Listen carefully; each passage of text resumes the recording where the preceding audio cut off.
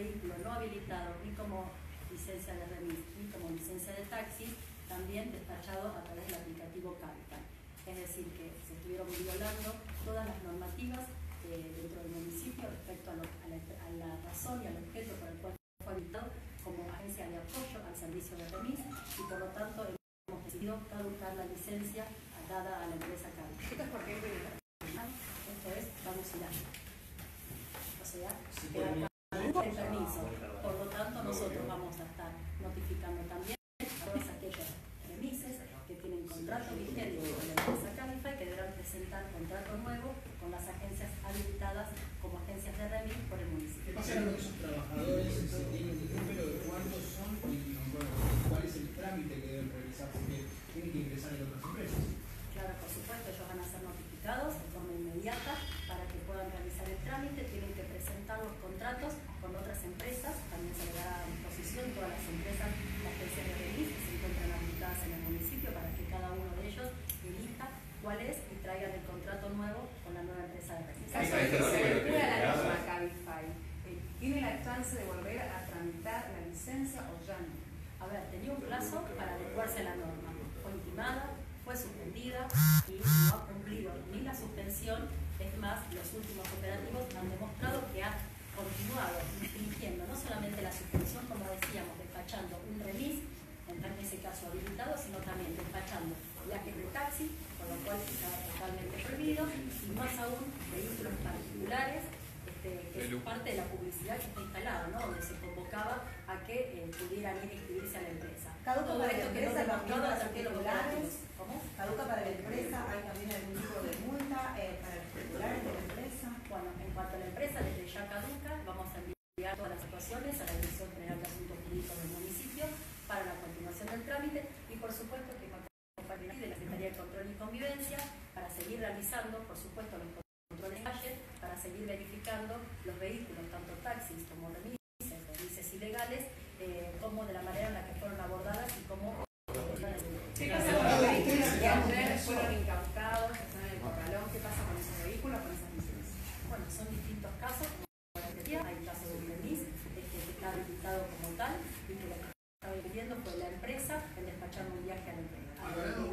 Hay otro caso diferente que es el caso de un taxi con el cual no pueden tener la misma relación los taxis que los remises y hay otro caso que es totalmente diferente que estamos hablando de un vehículo no habilitado. ¿Hay sanciones para esta gente, digo, para, para quienes son propietarios? Por supuesto que hay, se encuentran en el corralón y el Tribunal de Jalta va a llevar adelante las medidas que corresponden. Matías, ¿cómo se hicieron los operativos eh, vinculados con la Secretaría de Control para dar paso para adelante, por favor. Buenos días. Adelante, adelante. no se ve. No se ve, no se ve, maestro. Adelante. Un pasito adelante. de esta empresa. Eh, nosotros procedimos a hacer los operativos de rutina que generalmente hacemos con la Dirección de Fiscalización de Transporte, en donde en el día de ayer, eh, al azar, tres operativos de estos dieron positivos, en donde los inspectores les consultaban a los usuarios cuál había sido la modalidad de la utilización de ese móvil. Eh, en este caso, tres personas, tres usuarios del servicio, manifestaron que fue a través de esa, de esa aplicación, por lo cual se procedió en forma al secuestro y la revisión de los móviles. ¿Hubo resistencia? En ningún caso ninguna resistencia. Lo que sí, bueno, como explicaba la secretaria, uno de ellos fue un taxi, otro fue un remis y otro fue un remis ilegal, el cual también era sometido a la normativa vigente. ¿Ustedes serán un nexo con las otras empresas de remises para que los trabajadores no queden sin Nosotros vamos a los remises, cuáles son todas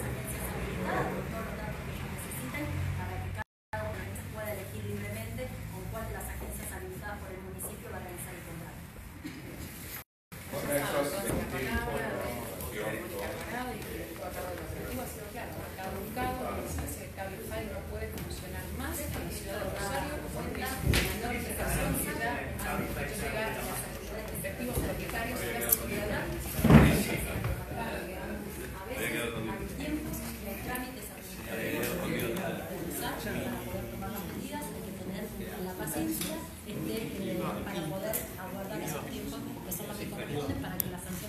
africanos, todos los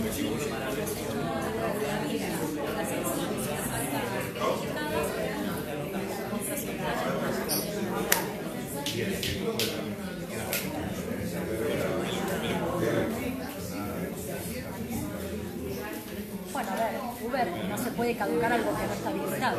Así que, de hecho, el servicio de Uber no se encuentra habilitado en el municipio de Rosario y, por lo tanto, decía la importancia de trabajar en forma conjunta con la Secretaría de Control y Convivencia, porque ellos van a continuar con sus operativos en calle, también consultando a los usuarios, tanto de taxis como de remises, caso de operativos a remises ilegales, cuál fue la manera en que los usuarios abordaron ese vehículo. Esto es fundamental y habla, como decíamos, de un trabajo coordinado entre ambas secretarías para poder obtener el resultado que tenemos. En, en otros casos que se haya dado caducidad a licencia, ¿hay algún precedente que se haya apelado? ¿Por qué no piensan que la empresa puede apelar? La empresa es libre de realizar los recursos que considere conveniente y se le dará el trámite y el tratamiento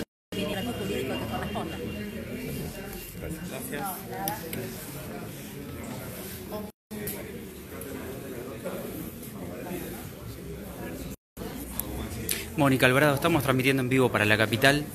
Queremos saber cómo, cómo es el, el operativo que lleva a cabo, porque ya que se trata de una licencia de manera virtual, ¿cómo llevan a cabo? ¿Cómo debe ser una tarea no del todo fácil? Eh, bueno, justamente hablábamos del trabajo conjunto con Secretaría de Control y Convivencia. Eh, acá nos encontramos con su secretario, tanto de Deporte y Movilidad como el subsecretario de Control y Convivencia, con llevamos adelante un trabajo.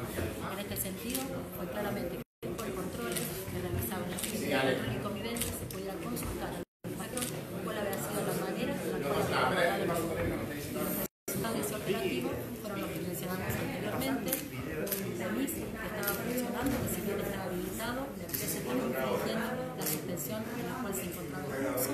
En segundo lugar, un taxi, también despachado por el aplicativo de Cabify. Y en tercer lugar, un grado de gravedad bastante importante, un vehículo particular que fue despachado través del aplicativo de Cabify. Es decir, que se encuentran infringiendo toda la normativa vigente. ¿Qué se hace en este caso con los vehículos, con los conductores, cuando se encuentra con estas aplicaciones?